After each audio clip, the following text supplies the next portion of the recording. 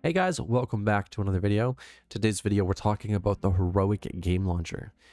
The reason we're doing so is if you're a beginner to Linux and you want to run GOG, Amazon, or even the Epic Games, uh, this has all three built into it. As you can see, you can log in Amazon, GOG, and there's Epic. There's also an alternative login for the Epic Game Store right there. Now, this will bring all your libraries into one and there's multiple settings. There's wine managers, of course. You can grab the latest version of wine. You can grab the latest version of wine LOL for League of Legends. And you can also grab the latest build of uh, Glorious Egg Roll or, you know, GE's Proton. So it's an all-in-one built app. There's also accessibility options. Look at this. Look at this. There's themes. Oh, that's an ugly theme. That's a classic ugly theme uh, standard theme here. This is an Electron app, so it's not really gonna... I don't like that. I like this. There we go. Basically, you get everything you need all in one.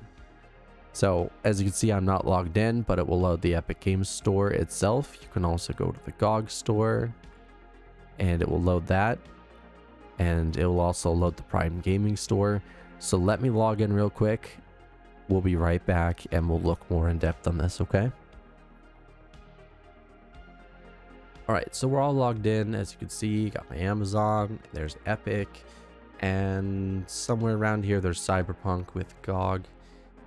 All of it's here. You can split it into categories or filter it by Epic, GOG, Amazon, other Windows, Linux, uh, browser games, pretty much everything is here all right?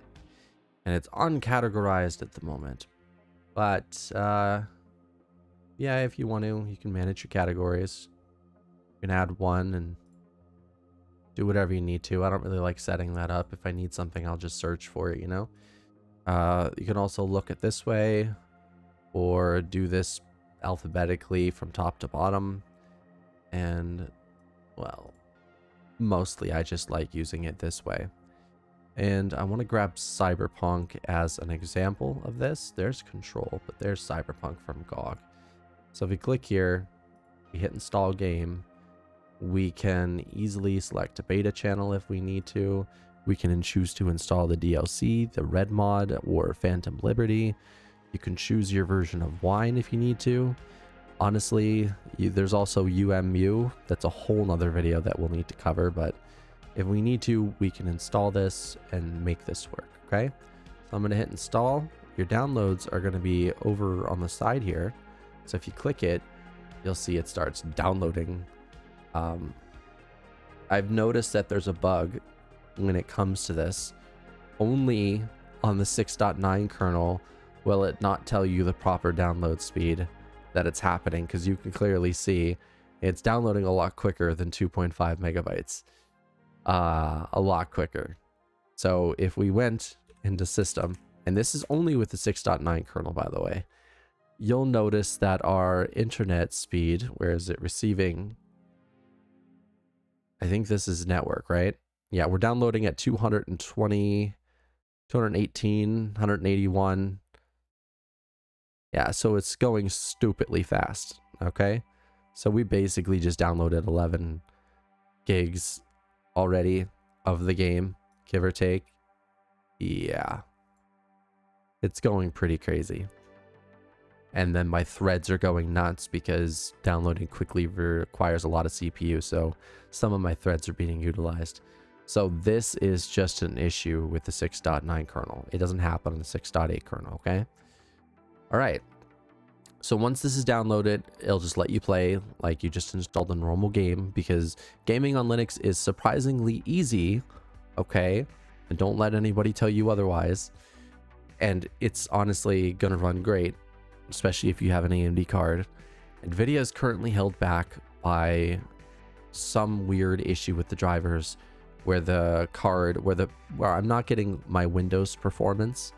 And this is the one game that does it but with a thing that's coming up in the 6.10 kernel called NTSync or whatever, it will give me the rest of my performance. I've tested that. So it's a limitation of Proton at the moment, and hopefully we'll get that fixed pretty soon. So I've pretty much almost gone into detail with you about this. I'm going to show you the options once we have a game downloaded, and I know I chose a big game, but it's going to be done here in a minute, so I'm going to just, I'll be right back. Alright, so the final part of this video is we're going to click here. We're not going to hit play now. We're going to click this button right here. Let's go over it again, that button right there. What this does is allows you to go into your settings. This button adds a shortcut, adds a shortcut to Steam, uninstalls, forced update available, can move the game, change the install path, verify and repair. Uh, can be a part of categories, go to the store page, show the changelog, check compatibility, and modify the installation. This gets us our settings. Now, it allows us to change our wine version. It allows us to change where we want the wine prefix folder. It allows us to auto install and update. And it allows us to enable FSR if we want it, so on and so forth. It allows us to run wine config, Winetricks, and even run certain executables on the prefix by dragging and dropping there. Now, this allows us to show FPS, enable MangoHud, use Steam Runtime, use our dedicated graphic card. Uh, basically, this will just automatically happen. If you only have one GPU, you don't need to click this. But if you have an iGPU and a dedicated graphics card, uh, you're going to want to click this. All right. Just so you can not use the iGPU. This allows us to input arguments such as wrapper commands or variable names. I'm going to grab some variable real quick and we're going to pop them in there just to show you how this works, okay? All right, so we have the variables and I'm going to just paste it in there and we're going to hit the plus button. So this makes it so it doesn't hide your NVIDIA GPU. And the next one, we're going to enable NVAPI. I'm going to copy that. I'm going to directly paste that in there. I'm going to hit the plus button. And as you can see, Proton enable NVAPI. And it's set to 1. So this is going to allow DLSS to work in Cyberpunk if you have an NVIDIA card. Isn't that cool? But it only really works for Proton. Now this, this allows you to download your saves, you know? So force download, sync. I don't know if it's actually going to friggin' download my stuff, but if it does, it does. If it doesn't, I'll just start over again. It's, uh, it, it, it's pretty strange. If you need to, you can also grab your saves from Windows and just copy them over to that folder there, which it mentions, and it should be pretty easy, okay? This also allows you to use GameScope, but only if GameScope is installed, which it is, and for some reason it's not reading for me. Yeah, but it is what it is. Let's hit play. And it's not reading. Man, are you serious? All right, this might be an issue with the kernel as well. MangoHud. So we might need to do something a bit weird. I do, not you. You won't need to do this. MangoHud. Game scope yeah, when I say weird, I mean we're grabbing from Fedora 41 weird. Yes. So, yeah, I guess we're gonna have to go turn off MangoHud because it's uh it's just not gonna work and hit play. So we're not really gonna have, you know, the FPS on the screen, but it should be something. Now, this one booted up the red launcher, which is a bit weird. But we are in game now, and because of the red launcher, there should be an option to enable the FPS because the red launcher has some stuff going on. Uh, it's pretty cool, I guess. I mean, without MangoHud, it's the best we got. And we have audio.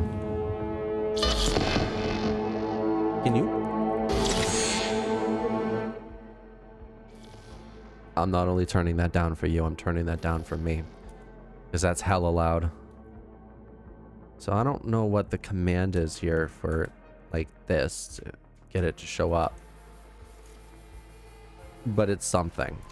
I don't even bother. We're just going to run a benchmark. Oh my good god. Look at that. Cloud sync worked. Alright. Settings. Our graphics ray tracing is set to ultra. ray reconstruction is on. DLSS frame generation will not work. Okay. Just letting you know that. We're going to leave path tracing off for now. I'm going to turn you, you, you, and you, and you to off because you're ugly and you don't ever need to exist. And we're going to run the benchmark.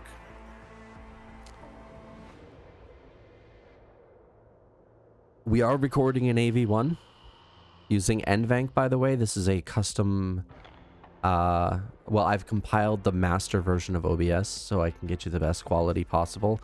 We are recording in slowest best quality at 25k bitrate, so this should look kind of 1440p-ish. Oh, we do got the FPS counter. Yeah, on Windows this would be a whole lot better.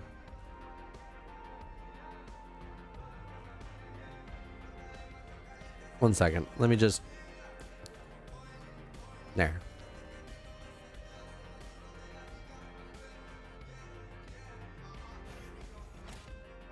I like the...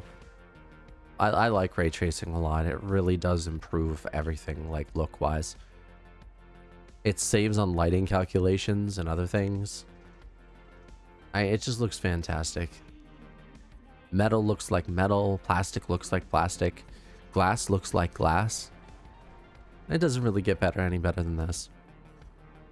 So with that, I hope you guys enjoyed this video about Heroic Game Launcher. Uh, and for a beginner, if you're new to Linux, this is a really cool program to use. So give it a download. I'll leave a link in the description below for you guys to check it out. And don't forget to subscribe, like the video, and I will see you guys in the next one. Bye, everybody.